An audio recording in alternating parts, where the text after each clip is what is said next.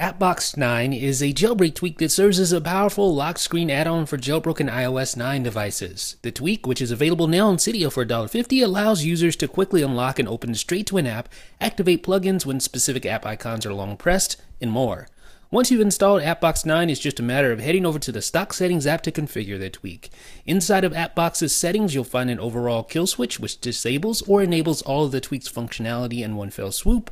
You'll also notice an apps section which allows you to configure the apps that appear on your lock screen. By default, several apps are already configured, but it's easy to rearrange, reorder, add, or delete apps by means of the drag handles to the right of each app name.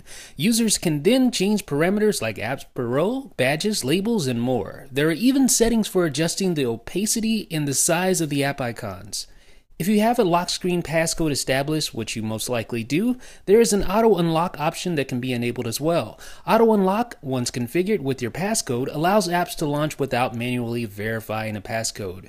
Being able to quickly launch apps from the lock screen is one thing, but AppBox 9 sports an additional flagship feature called App Views. App Views are essentially plugins that are associated with the apps that you have configured to appear on the lock screen. By long pressing on an app icon with an app view, a corresponding plugin interface will appear. For example, the Notes app features an app view that lets you quickly create a note, while the Music app features an app view that lets you view playlist. In all, there are five available app views for weather, playlist, contacts, social, and notes. Unfortunately, the way that app views are presented and configured makes it feel a bit disconnected from the interface as a whole. I think that the settings for configuring app views would have been better if done from the app configuration itself instead of relegating them to a separate view. As a result of the way the tweaks preferences are laid out, the app view configuration experience feels a bit disjointed. AppBox features many other subtle settings for greatly configuring the way the lock screen appears.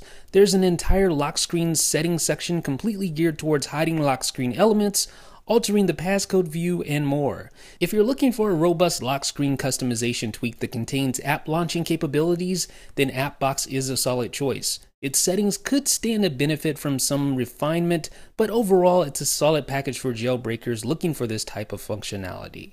What do you think about AppBox 9? Let me know what you think in the comment section. This is Jeff with iDownload Blog.